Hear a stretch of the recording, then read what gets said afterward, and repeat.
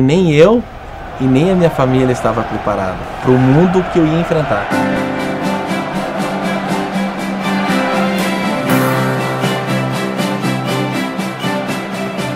A quando ela nasce com uma deficiência, ela não tem a noção de como que é caminhar.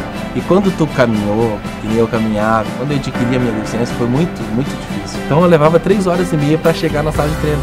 Isso para mim, entendeu? Eu já passei por muitas barreiras. O ônibus estragado, é, o trem não funcionando, escada rolante não funcionando, mas eu tinha objetivo, eu tinha que chegar. Por vocês vamos torcer, gritar, chorar e vibrar com cada conquista. Estaremos juntos nas vitórias e nas dificuldades, em todos os momentos. Vamos acreditar até o último segundo, porque somos 100% brasileiros e o Brasil inteiro vai estar com vocês. Não existe o impossível. É possível. Kinoplex, apoiador oficial do Comitê Paralímpico Brasileiro e dos Jogos Paralímpicos Rio 2016.